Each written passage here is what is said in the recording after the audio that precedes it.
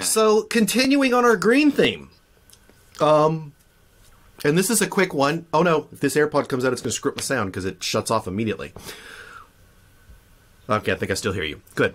Um, this, what we've been sitting there staring at because I made the slide real quick and wrong. I didn't have a break between it. Is you see, this is uh, Zack Snyder. Um, he did a, um, and it was kind of a last minute decision at a screening in somewhere in L.A. of Army of the Dead, um, which we mentioned earlier. He showed up to give a talk, um, at the end of the movie, and as usual, at any time he's anywhere since I don't know when did Man of Steel come out? 2015 2016 something like that? Mm, sounds right.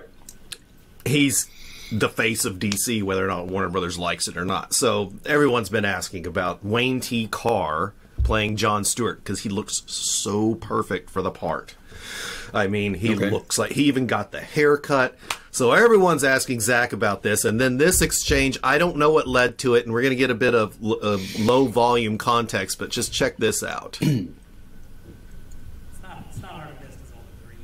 It, it gets louder, of course. So, pre- presumably, he's scrolling through the photos on his phone. Yeah, I would love to get right? hold he's, of his he's phone. looking for he's looking for an image, right? Yeah. That's his, it's his personal phone. He's got screen captures and stuff stored saved on there.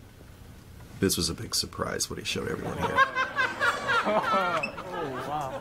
That is, that is awesome. wow. Mm. So what you're looking at there is, yeah. Then people will realize what they're seeing. that is Right. that i- is post effects done, and instead of Martian Manhunter, it was supposed to be John Stewart and two other lanterns showed up at his at Bruce Yep. Wayne's place at the end of Justice League. Boy, and then he also in interviews talked about his future plans. The um, John, there was supposed to be two versions of John Stewart. There was supposed to be John Stewart helping when Darkseid uses the old ways and invades with his armada, and the Green Lanterns would help with that. The eventually the whole Green Lantern Corps in Justice League Three would show up. Yeah, but you would have tons of Green Lanterns in the big final, like their end game.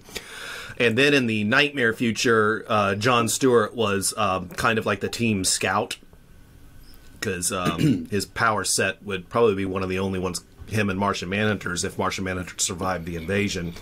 His power set would be the only Right. one comparable to uh, to Kal El's.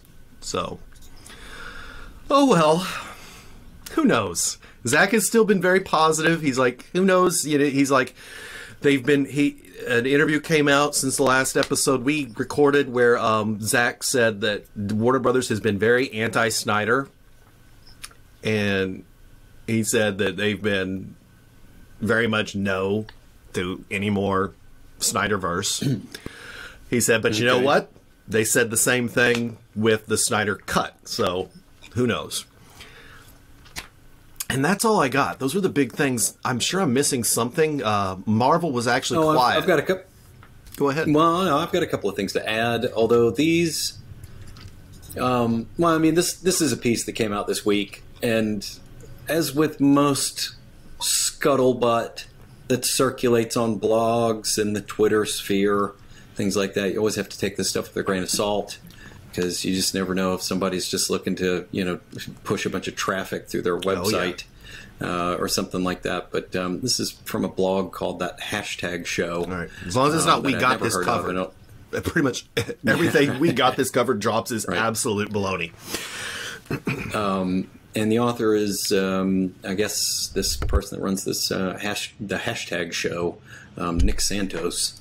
Um, I feel like I know who should know who That that name is, sounds but familiar, doesn't it? um, reported that um, after talking to someone with inside knowledge of the show and after seeing some um, promotional art, um, the concept art, and some of the artwork and stuff that was um, being produced for the film, that uh, apparently Ghost Rider was gonna have a pop up little cameo in Doctor Strange in the Madness Multiverse of Madness. Please be Nick Cage. It's not going to be Nick Cage. Um, It's also So, not going to be you know, um, what's his name from Agents of Shield. He did a good job. Gabriel Luna. No, right. Um, yeah, that's right. Um, uh, Gabriel Luna. That's right. got his name right. Um, who Yeah, um, who who played the the younger, newer version of Ghost Rider that uh, is more of the, the muscle car instead of a motorcycle. Yeah, Um, he's supposed to be the instead second Johnny Ghost Rider, right? Or something. It- right. Well, yeah, in in in the sort of you know popularized in the comics. because I think that the whole idea of the Ghost Rider, the Spirit of Vengeance, is supposedly goes back hundreds, if not thousands, of years. Oh. Um, but what they said, what they report, and had to kind of vet this a little bit, and I'm pretty sure this is correct. I've seen it other places too.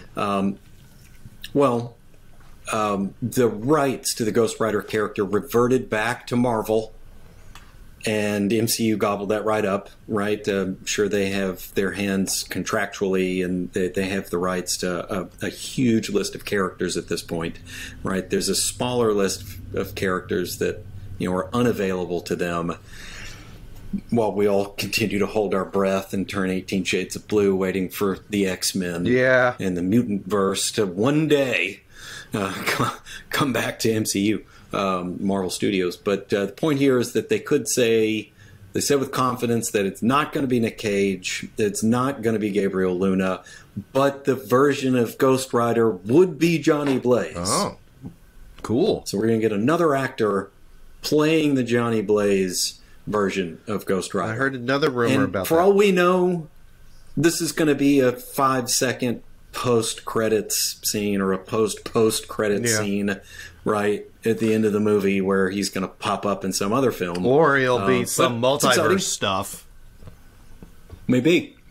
Um, it's pretty cool. I heard the rumor Um, that um, love- Mads Mikkelsen is has returned to play Kaecilius again. Oh, That's from Comic Book Now. It's reportedly bringing back Mads Mikkelsen as Kaecilius again.